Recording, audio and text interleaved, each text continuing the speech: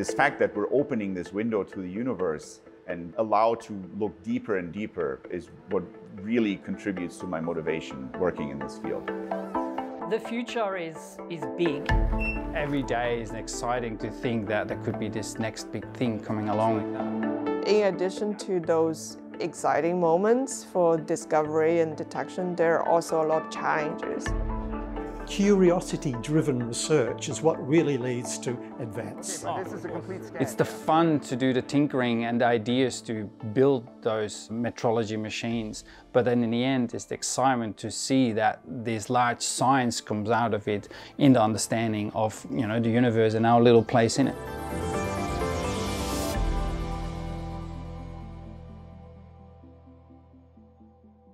Humans have been sitting around on Earth for you know, many, many thousands, millions of years. We've been looking up at the sky and all of this, the ways we've been looking at it have been using you know, light in particular because we could see uh, and eventually radio waves and, and so on. And gravitational waves are not part of that spectrum. It's an entirely new spectrum. And this opened up the universe to observing all these things we couldn't see before. Einstein realized this and he thought these gravitational waves would never be detectable. And for 20 or 30 years since I've been working in the field, I think I also thought it seemed an impossible task. Now we have a different channel. There are a whole lot of new things we can do to understand the universe and the cosmos. The field is very exciting and we want to go after the big questions. We're definitely not shying away from the big questions. We're gunning for them. And it's from here on that we can really look to these, these very big discoveries. Gravitational waves are essentially ripples in space-time. Generated by only the mo most dramatic uh, events in, in the universe, collisions of black holes, neutron stars, supernovae. You can imagine like if those very massive compact objects like black holes, neutron stars are moving and they are orbiting each other, they trigger the ripples in the space-time and that spread out traveling at the speed of light. What a gravitational wave does is ripples is when it passes through the earth it changes the separation between objects. So we can use laser beams to measure that change in separation. And those ripples are tiny, tiny, and it's really hard to measure and really hard to detect. So we need those extremely sensitive gravitational wave detectors which can measure the change in distance. That sounds like a reasonable thing to do, except when you realize just how small this effect is. A passing gravitational wave will change the separation between two objects which are, say, four kilometers apart by less than a thousandth of the size of a proton. That's ridiculously small. At the fine scale, we're making like some of the most precise measurements of length that anyone's ever made. A billionth of a billionth of a meter. And on that level, literally everything matters. They're trying to measure a displacement of about 10 to the minus 19 meters. That is really small. I have difficulty actually understanding what it is. So we began at the ANU to build on this idea by developing detectors to try and sense gravitational waves. And we have a large lab which does research in developing new technologies which we can use and which we then upgrade and integrate into the large gravitational wave detectors. Gravitational wave detectors, they are phenomenal machines. The detectors are really huge we have two LIGO interferometers which have four kilometer long arms in the United States. So the first detection of gravitational waves happened with the Laser Interferometer Gravitational Waves Observatory, or LIGO for short.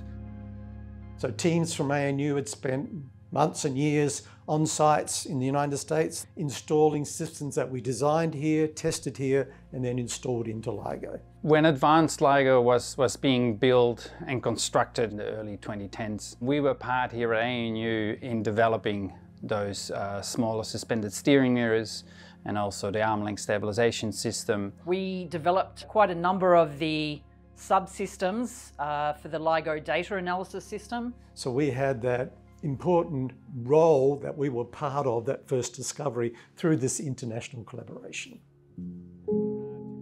Being part of the first detection and discovery of gravitational wave has been a fantastic opportunity and experience for me. The collaboration at that stage was about a thousand people across the world. And I got this email at like 9.15 p.m. and it said there's been this really extraordinary signal in the detect LIGO detectors in the last hour. So I kind of dropped everything. When we first learned about this and looked at the data, I think we were all pretty skeptical because it had been such a long time in the making and we uh, needed to prove that beyond shadow of a doubt that it really was a signal from outer space. So that initial feeling is tempered by, is it real? And by, you know, sort of an hour or two later, it became very clear that it was the real deal. As that reality grew, the excitement grew until we could finally acknowledge and reveal to the world this first detection. You know, it was a sleepless night. It was just so exciting. Finally, it had happened. You know, I'd been working on this project for best part of 20 years by then. The time we were all excited that it would happen, but we never anticipated it would be so soon and so loud and so clear. It's really an exciting moment. That's sort of a, a beginning of a new era in astronomy. At the announcement it was really an event which brought the world together. We have detected gravitational waves. We did it.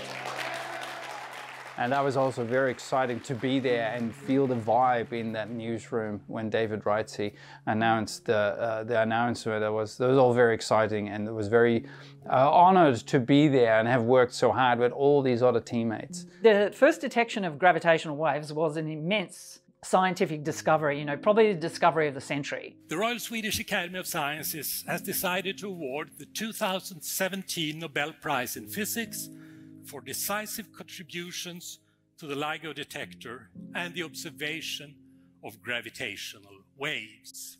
So it didn't stop once we'd measured the first signals. It just proved we now needed to build better and better detectors. But then two years later was the binary merging neutron star and astronomers were ready uh, for that event and it was probably the most observed astronomical object in history. So practically every single telescope on the planet that could target the object was observing it. So the research we've done here in the manipulation of the quantum state of light has taken decades. So we started with squeezing light source and now that is now installed in the LIGO to improve the quantum noise performance of the LIGO machines. And at some point we're also able in this lab to get the squeezing down to the kilohertz where gravitational waves are operational. So that was a major breakthrough that was achieved here in this lab. So in this lab, it's a variety of precision experiments. We're really designing experiments that can probe the universe in multiple ways. What we are looking over here in this experiment is testing materials that are going to be used for next generation of future gravitational wave detectors. We're in the ANU's new uh, uh, clean room facility. We've been contracted to make the new beam splitters for LIGO, but just the opportunity to uh, contribute hardware of, of, of this type, these like actual optics that are going to be used in LIGO, um, uh, is, is an incredible feeling. The nice thing about working at CGA is that we really do have some cool technology here. So there's a lot of tools in our tool belt that we can bring to play to solve these problems. These are new fields of research that nowhere else as it encompasses with all the activities we do in the lab is available. And we're very proud and of course very keen to keep going that research. I think it's one of the things that keeps us experimentalists going, is that even though the goal may be ambitious and maybe a long way off, along the way we're developing technologies for other applications that have importance and that keep us going.